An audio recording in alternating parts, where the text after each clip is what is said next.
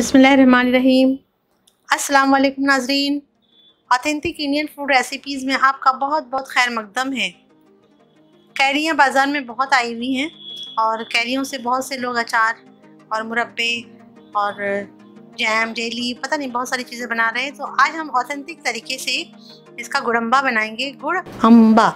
गुड़ तो गुड़ को कहते हैं गुड़ और अभी तो गुड़ से ज़्यादा शक्कर का भी लोग बनाने लगे हैं। लेकिन नाम तो उसका गुड़म्बा ही है, और अम्बा यानी कि आम। तो वो आम फैम जबान में गुड़म्बा हो गया, यानी गुड़ और आम, दोनों का मिक्सचर अब बहुत तरीक़ों से बनाते हैं लोग, लेकिन हमारे घर में जैसे बनता था या बनाते हैं तो वो तरीका हम आपके साथ शेयर कर रहे हैं। तो इसके लिए हमने वन के जो है, ऐसी कैरियाँ ले ली थी, और ये कैरी को काट के हमने इसे पीसेस कर लिए हैं। इसकी गुटली को हमने अलग निकाल लिया है। थोड़े कच्चे हैं, थोड़े पक्के हैं, आम। मतलब कैरियाँ थोड़ी सी ऐसी पीली हो गई है, नरम हो गई है, और बाकी जो है वो हार्ड वाली कैरियाँ भी हैं इसमें, दोनों तरह की है।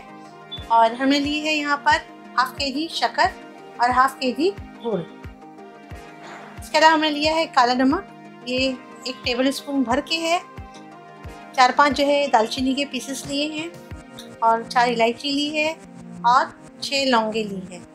और थोड़े से घी से हम क्या करेंगे, उसको बघारेंगे पानी का यूज़ भी करना है, पानी भी डालना है और ये गुड़म्बा जो है, आप एक साल की जैसे चाशनी जैसा बन के जब बनता है तो बहुत अच्छा बनता है और इसको आप जैसे प्याली में लेके खा सकते हो ऐसे ही सूखा और रोटी के साथ में भी, पराठों के साथ में भी इसका यूज़ कर सकते हो। तभी हम यहाँ पर बनाना शुरू कर रहे हैं और आपको दिखा नाजरीन, एक कढ़ाई हमने रख दी है। थोड़ा खुला ही बर्तन लेना है इसके लिए और एक टेबल स्पून हमने ये देसी घी लिया है, ये इसमें डाल देते हैं। बहुत ज़्यादा घी का यूज़ नहीं करना है, बस इतना ही काफ़ी है। और इसमें जो है हमको ये लौंग और दालचीनी और इलायची से बघार लगाना है। बिस्मिल्लाहिर्रहमानिर्रहीम। घी जब मेल्ट हो जाएगा तो जलने लगेगा। अभी हम डाल देते हैं इसमें। दालचीनी का फ्लेवर इसमें बहुत अच्छा आता है। जब ये चटक जाए, दालचीनी और लौंग जो है, फूट फूट जाए मतलब फूल जाए, तब हम क्या करेंगे, इसमें पानी डाल देंगे। पानी का यूज़ ज़्यादा नहीं करना है। हमने हाफ़ ही गिलास पानी लिया है और इतना ही काफ़ी होगा। अगर पानी हम नहीं डालेंगे तो हमारी कैरी जो है वो सख्त हो जाएगी, यानी कि ऐड जाएगी, कड़क हो जाएगी और वो चबाते नहीं आएगी। और अगर पानी डाल देते हैं तो फिर सॉफ्ट हो जाती है कैरी और जो गुड़म्बा होता है, वो कैरी उसकी कैरी बहुत अच्छी लगती है। ये हम पानी डाल देते हैं बिस्मिल्लाहिर्रहमानिर्रहीम अब ये पानी में जोश आने देते हैं, और उसके बाद में गुड़ और शक्कर शामिल करेंगे।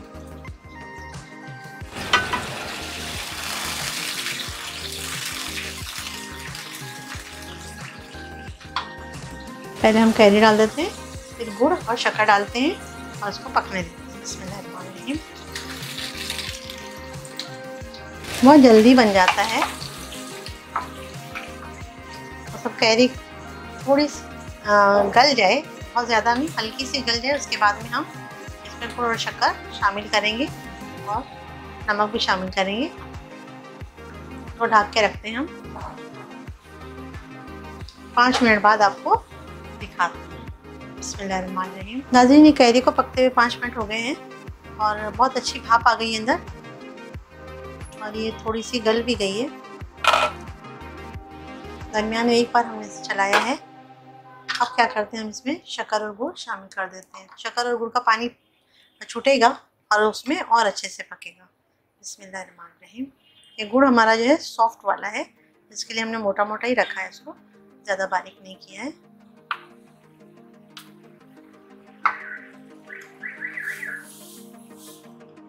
पाँच मिनट में ये मेल्ट हो जाएगा। ज़्यादा चलाना नहीं है। करी के हमारे जो पीसेस है वो टूटेंगे। हम इसको स्लो करके और ऐसे ही छोड़ देते हैं। और नमक भी हम अभी इसमें शामिल कर देते हैं। नमक अगर आप कम डालना है तो आप कम भी डाल सकते हैं। ढक्कन लगा देते हैं। भाप में जो है गुड़ और शक्कर जो है, ये मेल्ट हो जाएँगे। फिर आपको दिखाते हैं। नाजिन ये गैस की फ्लेम हमने फुल कर दी है और गुड़ और शक्कर जो है, दोनों भी मेल्ट हो गए हैं। और अच्छे से पक रहा है ये। अब क्या करते हैं हम इसमें? हमने थोड़ा सा नमक बचाया था, वो भी डाल देते हैं। नमक डाला था हमने आधा, लेकिन अब ऐसा लग रहा है कि और नमक की ज़रूरत है तो ये हमने पूरा नमक डाल दिया। एक टेबल स्पून पूरा फुल डाला है। अब थोड़ी देर पकने देते हैं, और उसके बाद में गैस की फ्लेम ऑफ़ कर देंगे, क्योंकि ये जो है जितनी चाशनी पतली दिख रही है ना, ये ठंडी होने के बाद में गाढ़ी हो जाएगी। इतना पतला नहीं रहेगा। पानी भी हमने बहुत कम डाला है। कैरी का पानी है।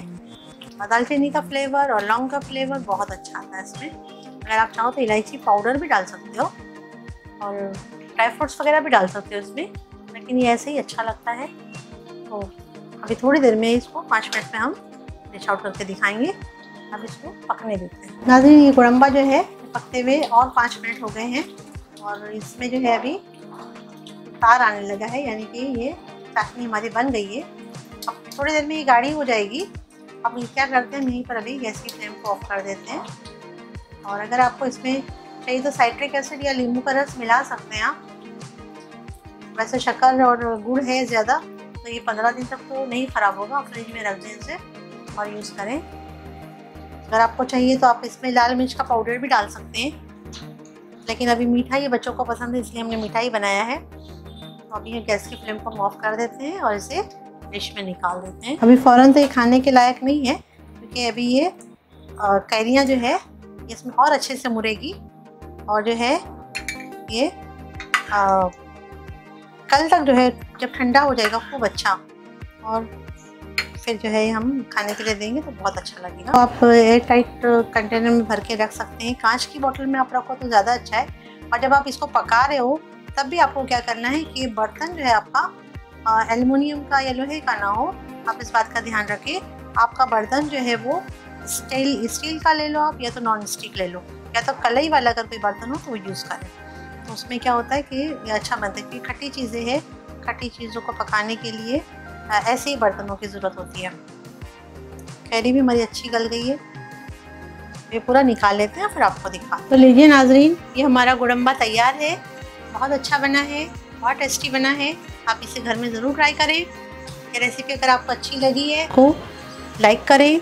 अपने कमेंट्स में लिखें कि कैसे लगी आपको रेसिपी और अगर आप मेरे चैनल पर पहली बार आए हैं तो सब्सक्राइब करें। अपनी बहुत सारी दुआओं में मुझे याद रखें, अपना बहुत सारा ख्याल रखें।